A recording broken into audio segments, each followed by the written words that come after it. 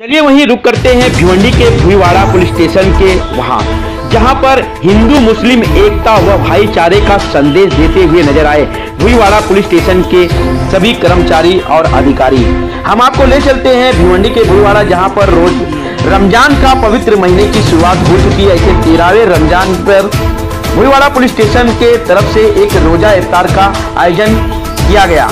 ऐसे में हम आपको बता दें कि इस रोजा इफ्तार पार्टी में भिवंडी पश्चिम के एसीपी गाविद साहेब, भिवंडी भुईवाड़ा पुलिस स्टेशन के इंचार्ज, विजय विशेष साहब, वरिष्ठ पत्रकार गोपाल सिंह ठाकुर, शरद भसाले, खान फकरे आलम शारिफ आजमी, अयाज मोमिन, जनता की आवाज़ टीवी न्यूज़ के उप संपादक रहीम शेख सहित कई ऐसे पत्रकार भिवंडी शहर के समाज सेवक व नगर सेवकों में वहाँ पर उपस्थित वसीम अंसारी, हाजी नुमान खान मोहम्मद हुसैन खान सहित कई ऐसे नेतागण और शहर के कई मान्यवर इस रोजा इफ्तार में उपस्थित थे, जहाँ पर सभी लोगों ने एक दूसरे को खजूर खिलाकर इस रोजा इफ्तार को तोड़ा।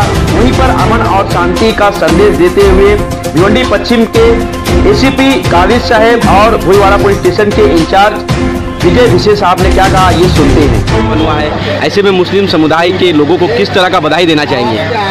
मैं हमारे भिवंडी शहर के तरफ़ से हमारे भोईवाड़ा पुलिस स्टेशन तरफ़ से पीछे साहब और हमारे डीसीपी श्री मनोज पाटिल साहब ने हर साल ये इफ्तार पार्टी और हर त्यौहार में बड़ी खुशी से मना रहे और ऐसी शांति अमन भिवंडी शहरवासियों के लिए रहे हर बार हर बार ऐसी इफ्तार पार्टी में पुलिस और जनता, पुलिस और जनता एक साथ में मिलकर ये शांति अमन के पूरे दुनिया को दिखाए कि भिवंडी के शहर के लोग शांति अमन चाहते हैं और भाईचारा चाहते हैं। और आने वाले रमज़ान में हमारे भिवंडी पुलिस की तरफ़ से हमारी बड़ी बधाई शुभकामनाएँ अभी से मैं देता हूँ। भिवंडी के तमाम लोगों, मुस्लिम बांधव और जो भी हिंदू बांधव हैं, उनको इस पवित्र रमज़ान महीने का हम लोग पुलिस की तरफ़ से शुभकामनाएँ।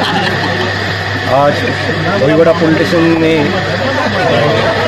रमज़ान की दावत रखी थी, जिसमें बहुत सारे लोग आए। और उपवास उन्होंने छोड़ा है रमज़ान का।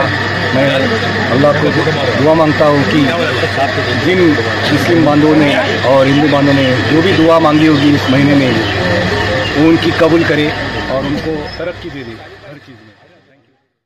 तो आज के लिए फ़िलहाल इतना ही। कल फिर मिलेंगे इसी समय, इसी चैनल पर। तब तक के लिए दीजिए इजाज़त। धन्यवाद।